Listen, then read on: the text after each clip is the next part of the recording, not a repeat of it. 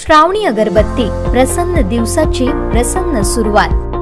Factory rate आणि wholesale रेटसाठी आजच संपर्क साधा. पुणे लघु उद्योग केंद्र सत्त्याण्णव बासष्ट एकवीस बारा एकोणऐंशी आणि एक्याण्णव बावन्न पंधरा पंचवीस पंचावन्न.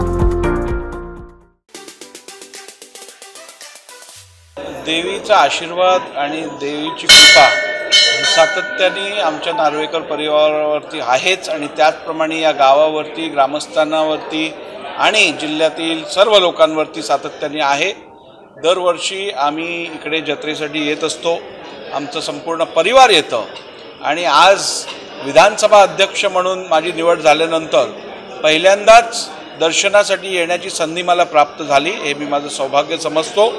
आणि देवीचरणी ही प्रार्थना करतो की या गावाचा उत्कृष्ट करण्यासाठी या जिल्ह्याचा विकास करण्यासाठी आणि महाराष्ट्राचं कल्याण करण्याची बुद्धी देवी मातेनी मला देव आणि माझ्या हातनं माझ्या या बांधवांची सेवा हो एवढीच प्रार्थना मी आज देवीचरणी केली आहे. बऱ्याचशा जुन्या आठवणी आहेत मातोंडगावच्या काय सांगा अत्यंत जुन्या आठवणी आहेत. आज गेली तीस चाळीस वर्ष आम्ही इकडे सातत्याने येत आहोत आणि आमचे पूर्वज ह्याच जिल्ह्यातनं ह्याच तालुक्यातनं मुंबईत आले. मुंबईत येऊन आम्ही आमचं व्यवसाय म्हणा उद्योग म्हणा परिवार तिकडे एस्टॅब्लिश केला.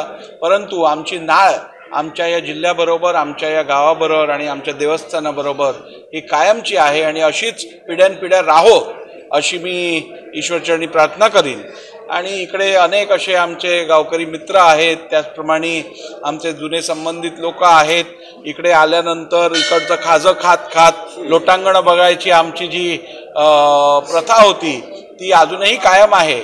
मला आज काय संध्याकाळी थांबता येणार नाही कारण माझी पूर्वनियोजित दिल्लीत बैठक आहे.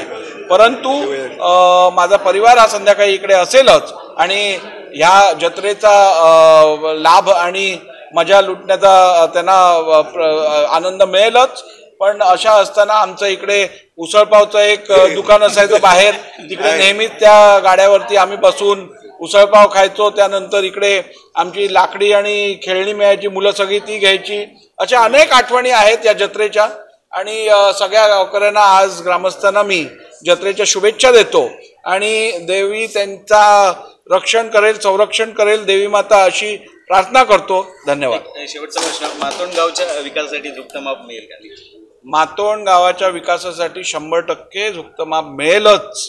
आणि त्याचबरोबर सिंधुदुर्ग जिल्हा जो महाराष्ट्रातला पर्यटनाच्या दृष्टीने अत्यंत महत्त्वाचा जिल्हा आहे याचा विकास अजूनही जेवढा अपेक्षित होता तेवढा होऊ शकला नाही आहे तो निश्चितपणे ह्या विधानसभेच्या टर्ममध्ये होईल.